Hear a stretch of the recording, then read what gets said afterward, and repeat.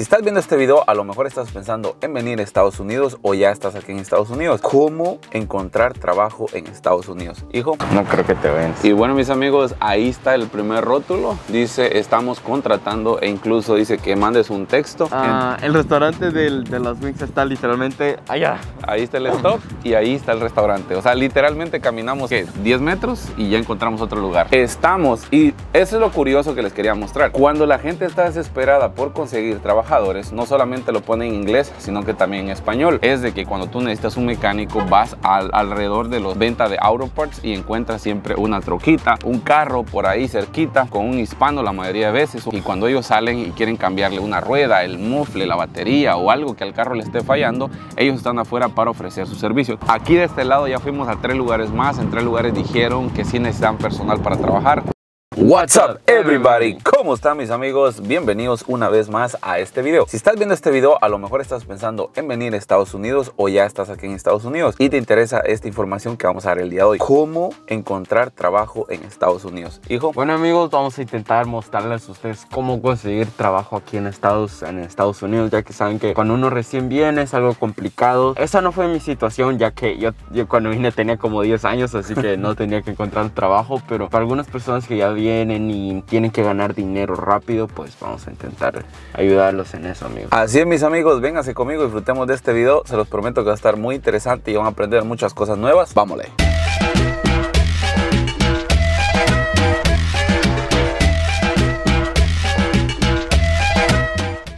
Y bueno mis amigos, algo muy cierto es que cuando venimos a Estados Unidos todo nos parece bastante extraño, diferente y difícil porque estamos en un nuevo país con un nuevo lenguaje y todo eso a lo mejor los abruma. Pero quiero decirles que no se preocupen, que nada más busquen un amigo, un familiar. Y bueno mis amigos, todos sabemos que cuando venimos a Estados Unidos es un lugar nuevo, que hablan un idioma diferente, nos abruma el hecho de estar en otro país, traemos deudas encima y todo eso nos acompleja un poquito este, porque pues no sabemos cómo vamos a hacer para conseguir trabajo. Ahora, el primer dato que yo les voy a dar es este. No tengan miedo, amigos, incluso sin saber inglés, en ir a pedir trabajo a los restaurantes, a los almacenes, a las bodegas, donde ustedes vean un rótulo que eh, se necesita trabajo. Cuando las personas están buscando empleados, ellos incluso son capaces hasta de agarrar el teléfono y traducirle qué es lo que necesitas llevar para que tenga empleo. Hijo, ¿algo que quieres decir? Muy cierto, amigos. Acá la verdad se necesita trabajo. Más ahora que pasó lo de la pandemia, que muchos eh, restaurantes han cerrado y se han ido sus empleados y ahora tienen que agarrar empleados nuevos. Y muy cierto lo que dijo mi papá, hasta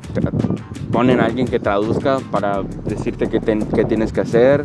Y pues como dice mi papá, que no se acomplejen, es un nuevo país, son nuevas oportunidades amigos y eso se tiene que aprovechar muy bien amigos. Exacto amigos, así que vamos a ir a averiguar a ver qué encontramos de bueno el día de hoy. Ahora amigos, andamos más o menos como a 5 minutos caminando de mi casa, andamos muy cerca de mi casa, pero acá les voy a mostrar a ver si encontramos un restaurante que tenga un rótulo de se necesitan trabajadores. No creo que te ven. Y bueno mis amigos, ahí está el primer rótulo, dice estamos contratando e incluso dice que mandes un texto o que eh, abras la app y que escanees este. Así que si ustedes necesitan trabajo y viven cerca de Glenburn, Maryland, aquí les dejo este rótulo. Este es un restaurante de alitas que la verdad está contratando personal para trabajar. Miren, el lugar se llama Wings. ¿Qué se llama? Wingstop. Wingstop. ¿Qué opinas de eso, hijo? Ah, la verdad, el del restaurante tiene muy buenas alitas por si quiere venir a comer acá. Y pues que si están contratando, pues no creo que sea la gran cosa. Si has trabajado en comida debe ser muy fácil para ti. Así que sí, eh, si están cerca, pues vénganse ahí, tal vez los contraten. Exacto.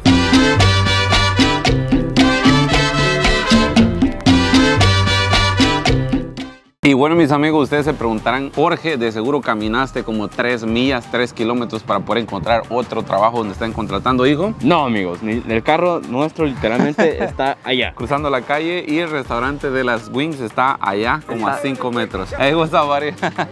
good, man, good. Ah, el restaurante del, de las Wings está literalmente allá. Ahí está el stop y ahí está el restaurante. O sea, literalmente caminamos ¿qué? 10 metros y ya encontramos otro lugar. Bueno, amigos, um, este restaurante, la verdad, ¿cómo se llamaba? Se llama... Wings, Chops, o no, no Chops. Chops Pit, sí, Pit Beef, algo así se llama.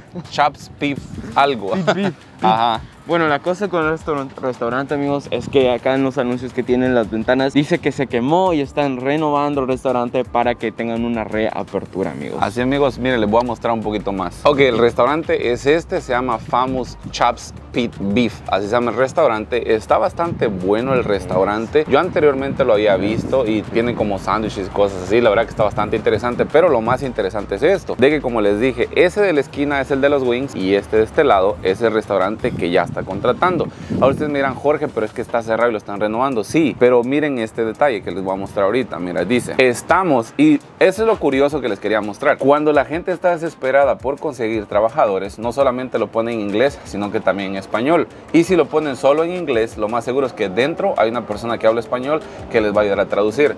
We are hiring, email us.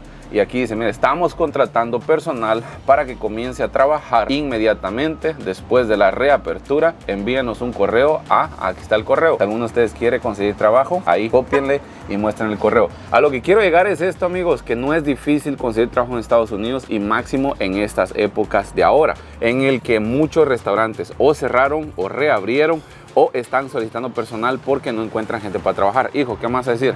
Eh, muy cierto amigos, como dijo mi papá, hay restaurantes que la verdad están muy desesperados por personal hasta que lo ponen en español. Y si no hay un cartel en español normalmente hay un hispano buena onda allá dentro del restaurante que te va a ayudar a traducirlo en lo que tienes que hacer amigos, así que no es tan difícil conseguir trabajo, solo tienes que buscar bien amigos, literalmente. Nos parqueamos por allá, vi, pasamos, yo me recuerdo, yo de hecho fui al Wingstop ahí hace como tres días, me recordé que estaban contratando, dije mi papá, vamos allá, están contratando, fuimos para acá, literalmente caminamos para la para enfrente y está otro restaurante. Así que vamos a seguir buscando a ver qué otro lugar encontramos que está solicitando trabajadores. Vámonos.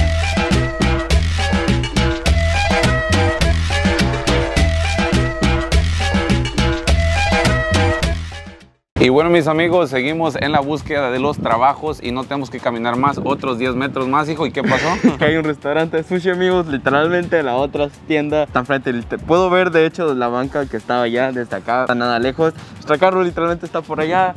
Encontramos otro restaurante que está pidiendo a trabajadores, amigos. Así, mis amigos, otro restaurante necesitando trabajadores. Ustedes me dirán, Jorge, pero sí, son restaurantes yo no quiero trabajar en restaurante.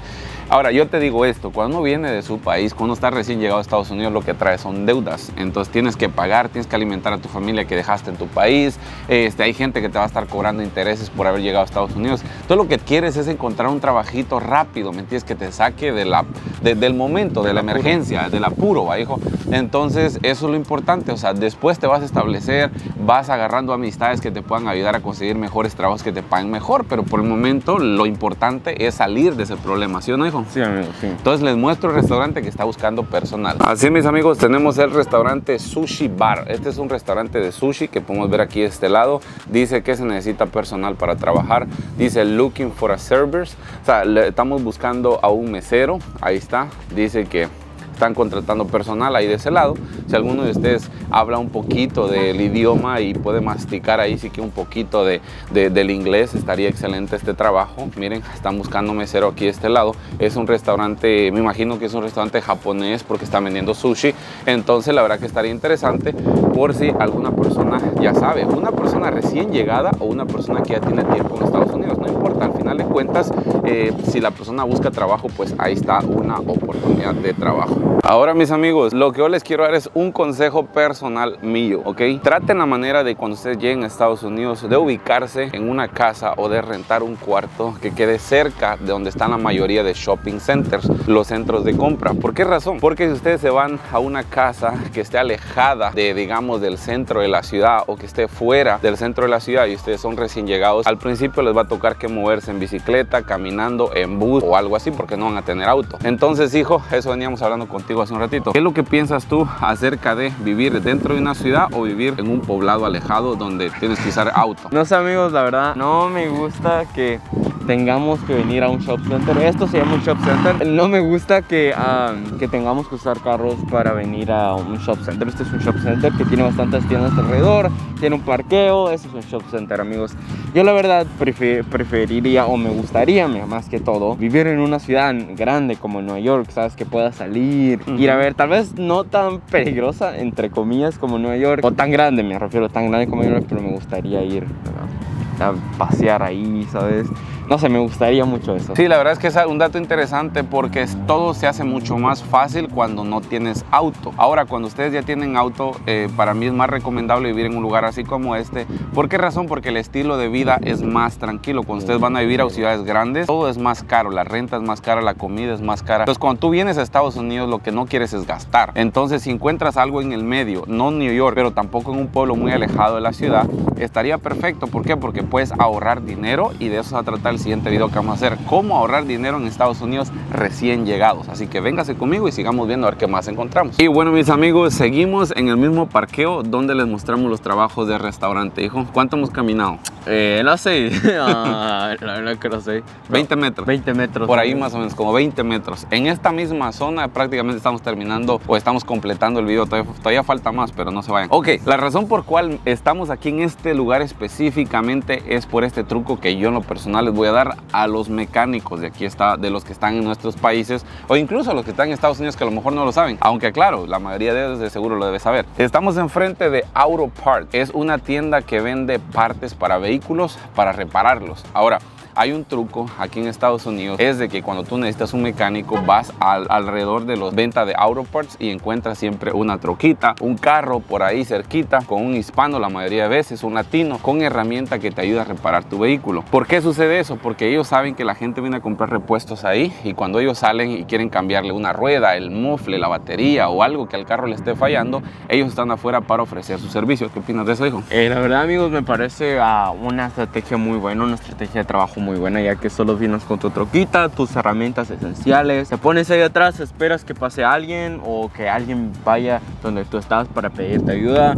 Eh, la verdad también el trabajo acá de mecánico, si tú lo sabes muy bien, se, te puede recomenzar muy bien, ¿verdad? Sí, o sea, el trabajo de mecánico aquí en Estados Unidos es uno de los trabajos mejores pagados que hay, así que ya saben, si ustedes son mecánicos en su país y vienen a Estados Unidos y quieren trabajar de mecánica y quieren agarrar un trabajo para trabajar de mecánica, lo que yo les recomiendo, vénganse al parqueo de Auroparts de Auroson y aquí seguro que van a encontrar oportunidad de trabajo. Ahora, Cabe destacar otro dato, que por lo general, siempre que hay un Auroparts, hay otro. El otro se llama Auroson y ese se llama Auropart. Cualquiera de los dos, si ustedes se vienen al parqueo, tráiganse su mochilita con sus herramientas y cada vez que vean una persona vestida como que con grasa y como al estilo de un mecánico, ustedes vayan y pregúntenle, hey carnal, mira, yo soy mecánico, yo trabajé en mi país, acabo de llegar a Estados Unidos, no tengo trabajo, sabes de algo, sabes de alguien que esté contratando, sabes de algún taller que esté contratando o incluso tú mismo estás contratando algún ayudante, te demuestro, te puedo enseñar lo que sé hacer, tú dime cuánto me puedes empezar a pagar y te puedes empezar a hacer de un nombre, te puedes empezar de hacer